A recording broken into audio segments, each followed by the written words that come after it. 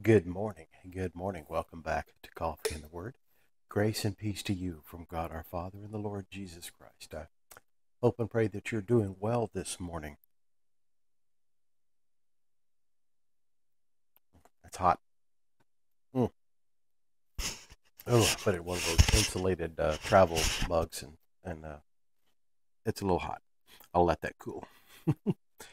All right. Well, you know what? It's been a while since I've done this. Um, uh, uh, introduction is due. Uh, my name is John Guru, and I am from Joy Lutheran Church in Richmond, Texas. And uh, every morning I get up and I, I, read from the Revised Common Lectionary.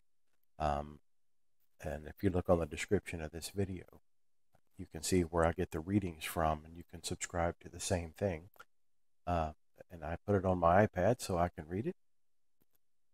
And uh, so anyway, that's that's what I do. I started doing this back in the pandemic, and it's going on. It's a little over four years now. I get up every morning, and I do miss a morning here and there for you know technical difficulties or if I'm sick or traveling or something like that. But for the most part, I'm here every morning, so uh, I enjoy it. So this morning we're going to start off in Psalm 20, and then we have a reading in Numbers. Have have not been to Numbers in a while, and then we're going to the Gospel of Mark. So Psalm 20 and as always, may God bless the reading of His Word. May the Lord answer you in the day of trouble. May the name of the God of Jacob protect you. May he send you help from the sanctuary and give you support from Zion. May he remember all your offerings and regard with favor your burnt sacrifices. Selah. May he grant your heart's desire and fulfill all your plans. May we shout for joy over your salvation and in the name of our God set up our banners. May the Lord fulfill all your petitions.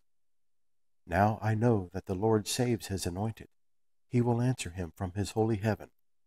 With the saving might of his right hand, some trust in chariots and some in horses. But we trust in the name of the Lord our God. They collapse and fall, but we rise and stand upright. O Lord, save the King. May he answer us when we call. Love that. All right. Uh, Numbers. It's a short one this morning. It's Numbers chapter 6, verses 22 through 27. And this one is entitled Aaron's Blessing. The Lord spoke to Moses, saying, Speak to Aaron and his sons, saying, Thus you shall bless the people of Israel. You shall say to them, The Lord bless you and keep you. The Lord make his face to shine upon you and be gracious to you. The Lord lift up his countenance upon you and give you peace. So shall they put my name upon the people of Israel, and I will bless them. That's uh love hearing that at the end of every service on Sunday. The pastor says that. Uh, uh, I've always loved hearing that. All right, the gospel according to Saint Mark chapter four verses twenty-one through twenty-five and this one is entitled A Lamp Under a Basket. And he said to them, Is a lamp brought in to be put under a basket, or under a bed, and not on a stand? For nothing is hidden except to be made manifest, nor is anything secret except to come to light. If anyone has ears to hear, let him hear. And he said to them, Pay attention to what you hear. With the measure you use, it will be measured to you, and still more will be added to you.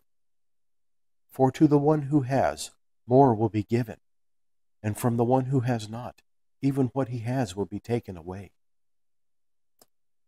And this is the word of the Lord this morning. All right, I'll go to the Pray Now app and I'll read the prayer of the day. All right, let us pray. Almighty and gracious Lord, Pour out your Holy Spirit on your faithful people. Keep us steadfast in your grace and truth. Protect and deliver us in times of temptation.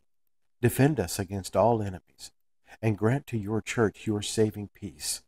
Through Jesus Christ, your Son, our Lord, who lives and reigns with you in the Holy Spirit, one God, now and forever. Amen and amen.